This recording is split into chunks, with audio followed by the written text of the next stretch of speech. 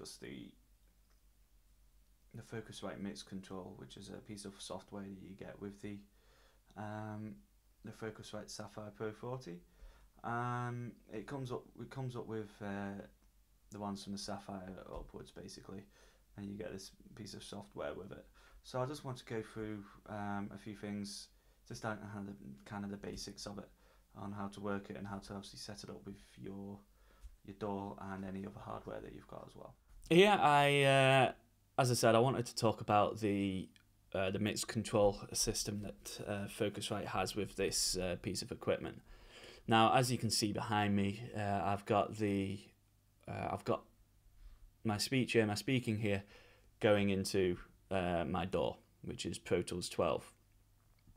And what's in front of you may look a bit confusing right now, and it was to me when I first got it. But when you get kind of used to it, it it does make a lot of sense. So we'll go through the first um, first bit. So across the top here, you've got these tabs, which is mix one, mix three, mix five, mix seven, and so on. And basically, what that is is it's the different mixes you can get. Um, so if you've got different uh, headphone mixes. So let's say you are recording a a band live. It's just a live recording. It's not multi-tracked.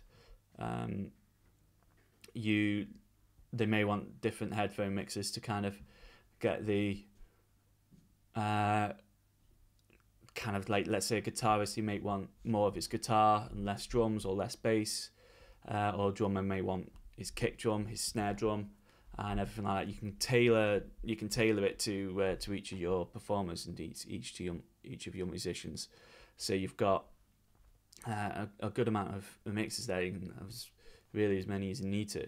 So uh, that's that's really good in that way. So when setting it up you know so you can just set setting it to the default already will help it to uh, we'll just obviously make sure it's set up. But obviously if you add on more equipment and more uh, mixes, then that's where it gets a bit confusing.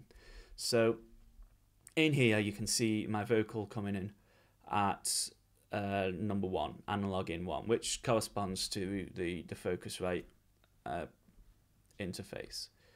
And then, as, as as you're aware, I've got nothing coming in in the next uh, six to well eight uh, in inputs either. So there's a couple of things you can do. You can, let's say, when doing a headphone mix, you may want to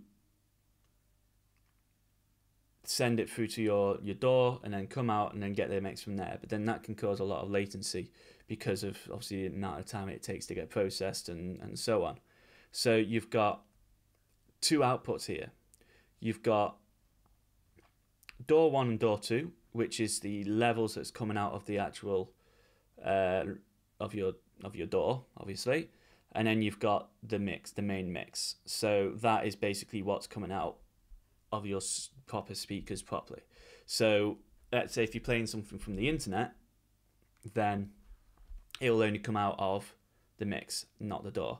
Anything that's coming out of the DAW, like my vocals here, uh, it will come out of the, uh, the the DAW mix.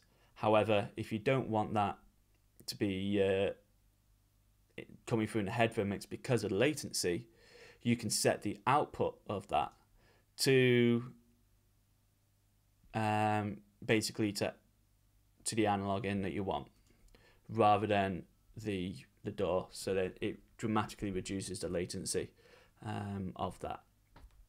And you can obviously do that against the uh, the other uh, inputs that are there. So if we go down uh, to this bit, this is the main outputs. So that's uh, output one and output two on the back of your Focusrite product. So on here, as you can see, it's coming from mix one uh, left and mix one right, which is obviously corresponding to this here. So that will obviously play anything that's uh, coming out of there of your of your computer, essentially, whether that be on the internet, your iTunes, and so on. And then here, this is your extra outputs.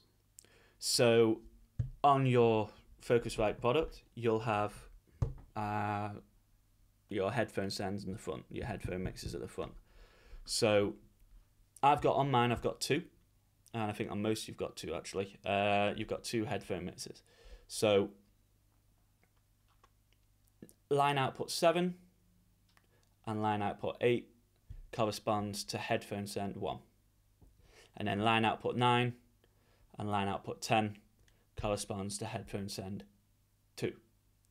And so basically, in that sense, you can tailor, set it up uh, to tailor made your what you want to hear, what you want to listen to. So I could say, I may want just what's coming out of my DAW in the first uh, headphone send, but then what's coming out of my uh, computer. Let's say someone just wants to listen to YouTube or something like that, then that will come out of. Uh, you can set that up to come out of headphone two, so they listen to something else, which is hmm, not too bad, quite decent. But that's theoretical anyway. I've got a processor, uh, an effects processor linked up as well. Now, this is where it kind of struck me a bit. This is where it kind of got a bit confusing for me. I was trying to figure out how my how to set it up, but I just plugged it in and I thought, plug it in, on you go, sorted. Bit more complicated than that because when I plugged it in, I thought, right, let's have a listen, let's give it a go. It was feeding back all, all the time, and it was just like I couldn't couldn't figure out for me why it was doing that. And what I realized was these two outputs here were set to mix one and uh, mix one left and mix one right. So essentially, anything that was coming through it was just getting fed back and back and round and round and round. Obviously, hence causing feedback. So I had to then and then figured out. Took me a wee while to, to be honest, but I figured out what I needed to do.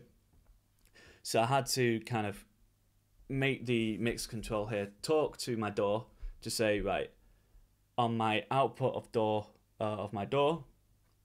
I want output 3 and output 4 to go to line output 3 and line output 4 so that corresponds to the outputs on my de- on my uh, on my Pro Tools which is number 3 and number 4 um, going to I'll show you here actually so let me just uh, get it up so here we are, sends A to E. Um, it's recording at the moment, unfortunately. Well, maybe I can't show you. Uh, but essentially, getting the send set up, output 3 and 4 would then correspond to line output on the back of my uh, control here. that will then correspond to um, the output 3 and 4. So it kind of just syncs it up essentially. And then only that that comes out of my uh, output 3 and 4 will come out of the um, the the output three and four in there, and then go into my processor, which is what I want. And obviously, at that point, all the feedback stopped. So that was sorted out.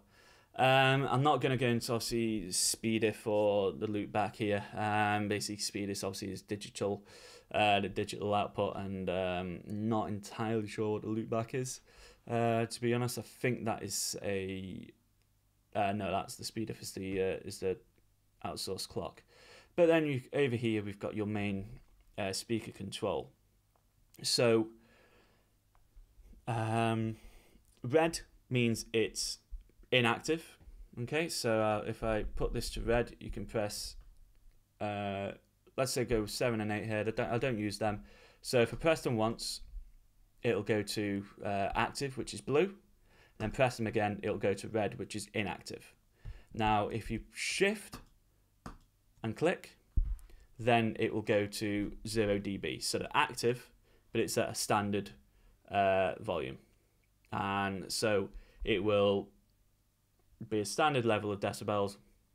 And that's why I've got my output 3 and 4 here as a standard level. So it's got a good level going into my uh, into my FX processor but then I want to activate one and two because that is what's coming out of my uh, of my uh, speakers. So I want to make sure that's uh, sorted out. Then you'll see uh, this nice big round circle here is the volume control essentially. I'm just turning the volume control on my box and it's also affecting the the volume control there, as you can see. But then turning that off, I'm still turning it, but it just doesn't move. So uh, that's kind of useful. But then essentially everything here again corresponds to what's on the front of your box here. So we've got a mute here, as I've got I've got it muted now, so I don't get any feedback. And then you've got a direct input as well, uh, which obviously uh, reduces the level of sound that comes out. And then you've got left mute, so you can just mute the left side or mute the right side. And you've got your mono as well, which is self-explanatory. Um, in this box here, you can look at your, your sample rate essentially. So what level of sample you want to record at. At the moment, I've got it set to 48 kilohertz, which is industry standard. Uh, and then your sync source, so that's your clock. So basically, whether it's S/PDIF, ADAT, which is your uh, FireWire, uh, not your FireWire, sorry, uh, your S/PDIF, which is the digital input, and then ADAT, which is your um, optical input, which is another type of digital input. And then you got your internal, which is the one that I've got set up. Um, then sync status is locked, obviously. So once it's obviously sorted out, loaded up, it's locked. And then obviously FireWire driver, which obviously is connecting to the computer through FireWire, and that's what I've obviously got set up here. Um, so that's it really. That's all you really need to know. Um, you got different levels of different kind of outputs here as well. You can clear DAW tracking is obviously coming from your DAW. Ultra low latency tracking uh, is kind of like. It's just a bit um, doesn't do as latent. And then you're mixing and then you loop back as well. Um, but obviously, there are probably better videos than that than mine. Uh, so yeah, I, I hope this was uh, quite informative for you. Thanks.